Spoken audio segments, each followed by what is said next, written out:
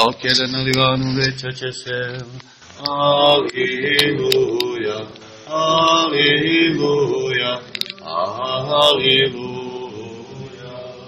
Premudro, smeno, stojno čujmo sveto evanđelje.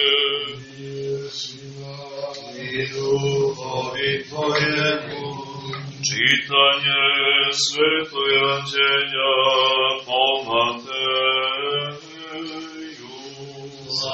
Tebi, Gospodi, slava Tebi.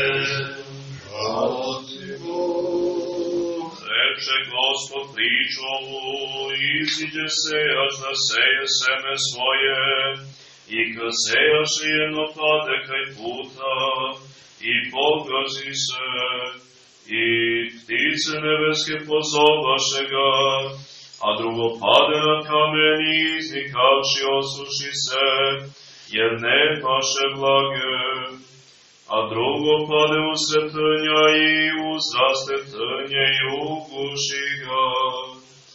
A drugo pade na zemlju dobru i iznikavši donese sto struki rod.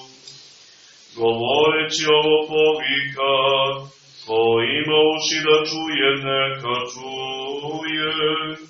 A učenici njegovi pita koga govoreći šta znači ova priča, a on reče, vama je dano da znate tajna carstva Božjega, a ostalima biva u pričama, da gledajući ne vide i čujući ne razumeju. A ova priča znači seme je reč Božja, ako je kraj puta to su oni koji slušaju, ali potom dolazi đavo i uzima reč iz srca njihovoga, da ne veruju i da se ne spasu. A koje je na kamenu to su oni koji kada čuju s radošću primaju reč, i ovi korena nemaju te za neko vreme veruju, a u vreme iskušenja otpadnu. Ako ju trnje pade, to su oni koji čuše i živeći u brigama i bogatstvu i slastima ovoga života, budu ugušeni i ne donesu roda.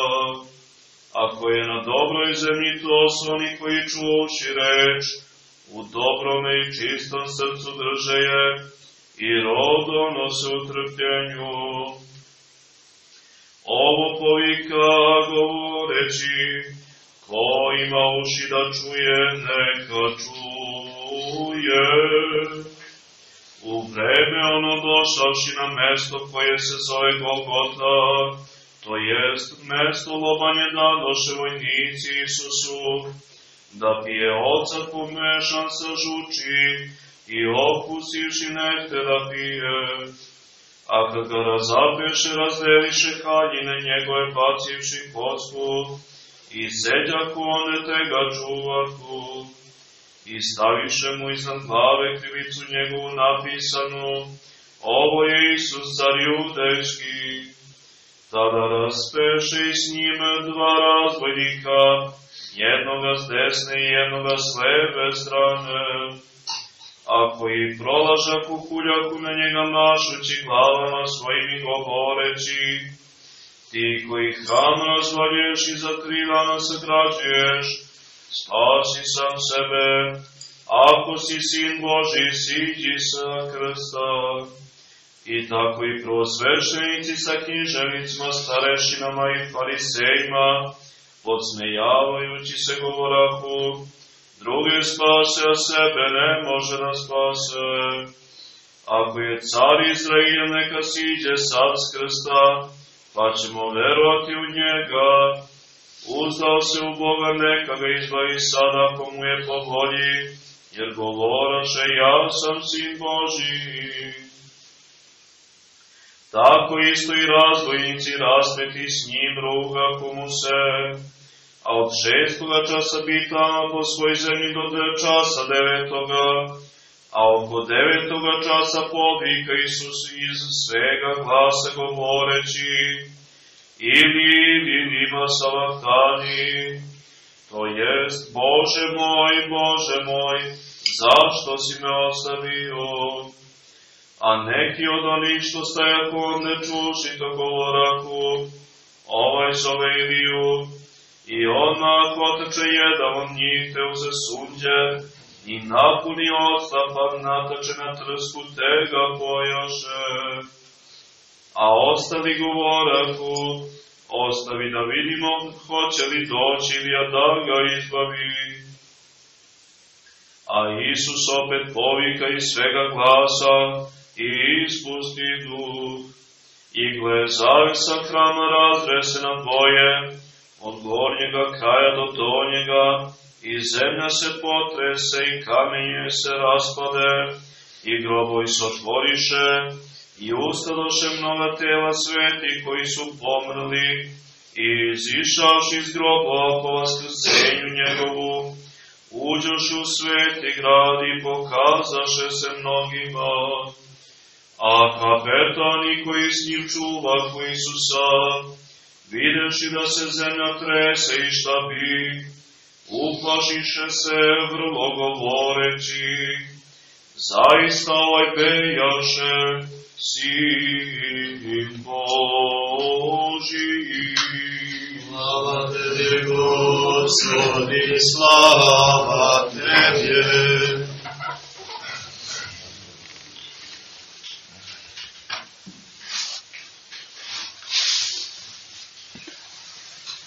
Braće i Sina i Svetoga Duha. Evo, braće i sestre, čuli smo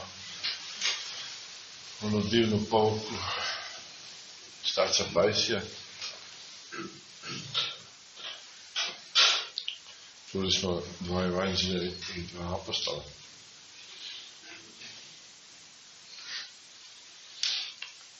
Priča o semenu i sejaču. Poznata priča, mnogo puta objašnjena, ali opet se da je objašnjena. Seme reč Božja. Oni koji su pokraj puta, znači kaže, čuju reč, ali odmah dođu dođu demoni i otmu im reč. Znači, ako smo i nepažljivi,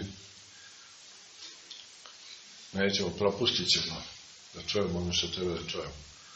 Ako smo u crkvi nesmireni, ako dođemo sa svim svojim problemima, ako nastavimo da imamo te filme u glavi, ako se ne smirimo molitvom pre toga, nećemo čuti ni reči liturgije, ni reči svetog evanđelja. to će da promakne. Ili ono što smo čuli sve će kao da nismo čuli. Novim ljudima kojima pričamo o veri, koji nisu u veri, znači kao da pričamo stranim jezikom. I oni imaju svoje neke, što kažem, svoje neverije koje je vrlo jako, kao neki zid, što je teško praviti. I čak i kad čuju nešto što je vrlo logično, što bi svako moglo da usvoji, oni posle kao da nisu čuli. Tačno kaže, dođe djavo i otvori i oni to zaborave. Ako smo u brigama ovoga sveta, ako smo stalno raseni, onda jednostavno reč ne može da dopre do nas. Druga grupa je oni koji čuju reč i obraduju se. Znači, i vide sad da tu ima nešto i krenu tim putem, međutim, nedostatak iskustva, to je sebe na kamenu. Znači, obraduju se kad čuju lepo reči i počnu srcu da osjećaju radnosti, sve to. Ali kad dođe prvo iskušenje, oni se, što kaže, uplaše, kaže, bolje mi je bilo van crkve i pobjegnu. kaže, treće, seme u trnju.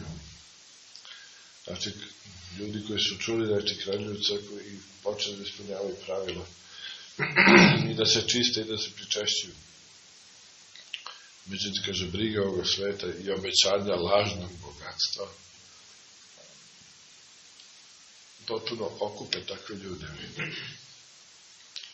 I onda, što kaže, vremenom opet Gospod ne bude na prvom mestu kao što treba da bude.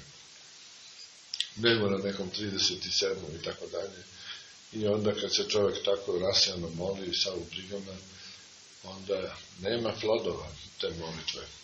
Kad nema plodova, onda đavo sipa u naše umove maloverje i neverje. Jer čovjek koji ne vidi plodove, onda misli da, što kaže, na kraju će da, da misli pre da nema Boga ili da, neš, da njemu Bog neće da ispuni i tako dalje.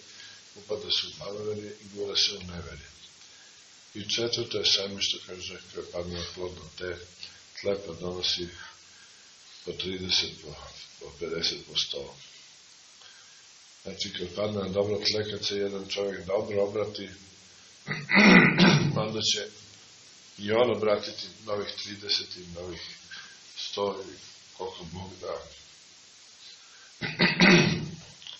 Nije, nisu teko, nismo mi sad razdvojeni u tim kategorijama stalno. Ako smo jedno bili na, na kamenu pa smo prešli u trnje, pa smo malo bili na plodnoj zemlji, desi se da se mi vratimo i kraj puta. Kraj puta su i oni koji hoće svima da ugode. Jer ugoditi svima je potpuno nemoguće. Ovaj, znači, i onda čovjek izgubi ogromnu energiju na to i ogromno vreme. Znači, nekada kad padnemo, kad se izgubimo, mi se vratimo na prethodnu fazu i tako da.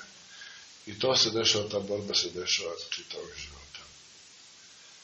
E sad, se kaže, treba da koristimo vreme, jer ne znamo koliko ćemo ga imati. Gospod može da dođe svaki dan. I rekao je da će doći tako kao lopov. Znači, nekad se mi nadamo, nekad su, ne znam, zemljotresi i ovo i ono, i će u dan kad se bude kupovalo, prodavalo, udavalo, i tako dalje, doći kad se niko ne nada. E, zato je rekao da budemo spremni. I zato treba da se potrudimo da dođemo, da budemo semena plodne zemlje. Da se fokusiramo, da znađemo, da uzmemo šta su naši prioriteti. Prioritet mora da bude naše spasenje i naših bližnjih. Mora da budu da naša deca spoznaju Hrista, da se Hrist useli i u njih. I onda nemamo čega da se bojimo. Čovjek ima pogled, on je pogled. Znači, i, i bit će član maloga stada. A gospod je rekao, ne boj se stada. Ceo svet srlja u propast. Većina sveta je pored puta. Ne može ni da spoznam Boga. Slušao sam razgovor jedne bezbrižne spikerke sa jednim čovjekom koji nešto veruje. I sad on kaže, Bog će se javiti i javio se i tako. Kaže, kome se danas Bog javio? Ona je potpuno neobaveštena, zato što je pored puta. Zato što te informacije ne dolaze do nje, ne dopiru, ne idu crkvu, jer čita sve te knjige, čita sve te evanđelje, jer čita sve ti psaltine. Ona veruje samo ono što je učila od bezbožnih učitelja.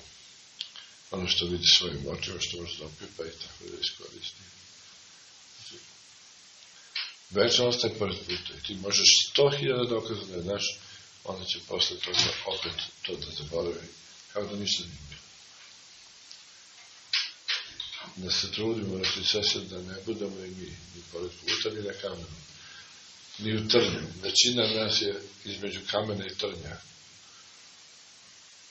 Radujemo se, što kaže, kad čujemo lepe reči u crkvi, a posle se izbezujemo kad dođu iskušenje, padamo u, malaveri, u, u unjenije, u depresiji tako da I zato što se mnogo, mnogo brinemo oko toga. E sad, imamo mi neki plan po kome sve treba da bude kako smo mi zamislili tako. A da li je Bog tako zamislio? Treba da se smirimo, da vidimo šta je Bog smislio i za nas, i za nas, i našu decu i tako da. Ako nam Bog nešto oduzima, on nam sigurno uvijek nešto i daje. Mi samo gledamo šta nam je oduzeo. A možda nam daje mnogo bolje nego što smo imali. Treba da se tako malo smirimo i da primimo pravo sebe u sebe. A to je reč Božja. Znači, evanđelje, zakon, novi zavet mora da se čita. Nikada se ne prestaje. A tako je psaltir. Zato su sveti oci rekli, može sunce da ne izađe. Ali psaltir mora da se čita. Pročitajte makar po jedan psalm. Pročitajte makar po dva pasusa iz svetog evanđelja. I nećete više nikad biti sedam puta.